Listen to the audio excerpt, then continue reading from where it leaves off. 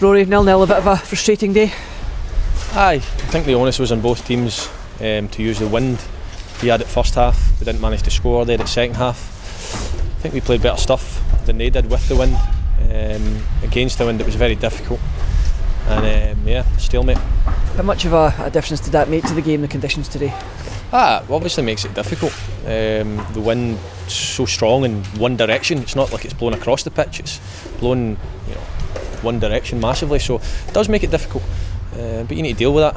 Uh, and I thought both teams coped reasonably well. There wasn't a lot of quality in the final third, but it was very difficult to have a lot of quality in the final third. And other than a couple of snapshots, there weren't really any great deal of chances.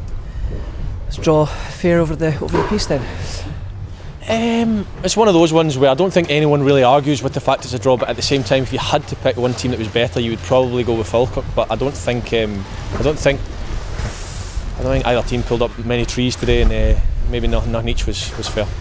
So again, obviously, a lot of Falkirk fans were looking to try and close that gap, but uh, the wait for this the second win goes on a little bit.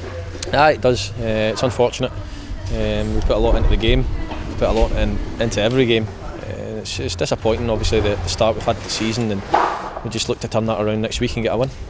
How, how difficult is it for, for all the guys, not just a personal level, for, for confidence at the moment, Rory? Because look like, obviously, when you're down but the kind of bottom of the league, confidence is, is difficult to come by. Aye, obviously, confidence is huge. Um, it's hard to instill in players over a long period of time. Uh, results breed confidence and good performances uh, breed confidence. We've not had enough of them this season. It's simple. As, it's as simple as that. Um, but we go into um, next week. We're unbeaten in two, two clean sheets. We just need to stick the ball in the back of the net, and um, hopefully we can build on it.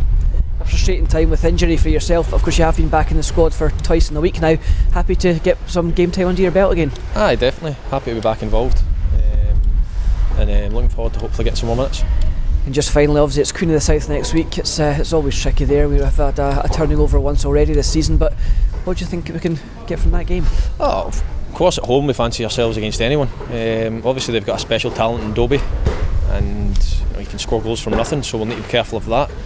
But other than that, we've nothing to fear. Uh, I think if we can build on build on the kind of solid base we've got now, stick a few goals in, then we'll be fine.